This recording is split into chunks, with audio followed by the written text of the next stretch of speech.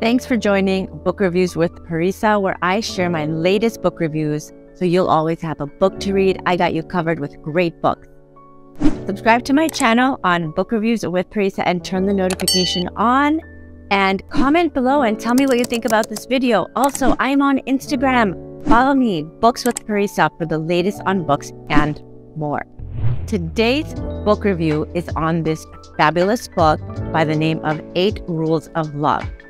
How to Find It, Keep It, and Let It Go by the author Jay Shetty, one of my favorite. It is a non-fiction self-help book, kind of, and it is 320 pages and it recently came out. It came out the beginning of this year, 2023. The reading level is not difficult at all. It is super easy, fast read. The synopsis of this book is that Jay Shetty is genius. He is simply brilliant. His book is magnificently crafted in his monk like ways, with a modern twist, he explains the principles of love through anecdotes of present day examples of love mixed with Vedic wisdom, and modern science. Love does not only imply to a partner, but to a community as a whole. It is all encompassing. That's the beauty of his book. In this book, he lays out specific actionable steps to help develop skills to practice and nurture love. He shares his eight rules of love. And let me tell you what they are. One, let yourself be alone. Number two, don't ignore your karma. Number three, define love before you think it, feel it, or say it. Number four, your partner is your guru. Number five, purpose comes first. Number six, win or lose together. Number seven, you don't break in a breakup. And number eight, love again and again.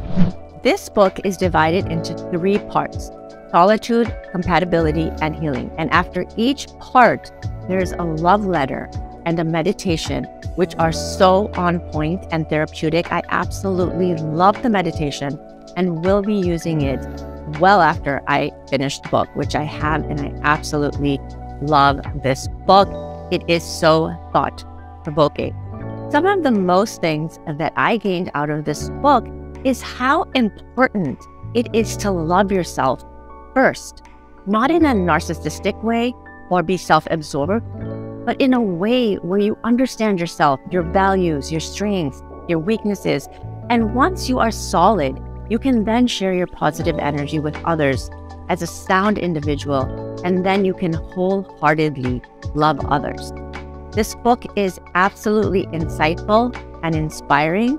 It's like a useful guide with practical advice. It's not a one size fits all, rather, it's something that you implement, absorb, and use. I give this book five stars. It was so amazing. I highly recommend it. You will love it. And the reason I give it five stars is was the topic well explained and thoroughly? Yes. Was the information relevant to the point? Yes. Was the material helpful? Absolutely. Can the information be implemented in your daily life? Yes. And was the information easy to understand and was the book insightful? Absolutely. Another book by this author is Think Like a Monk. I highly recommend it. It was so good. I want to read it again.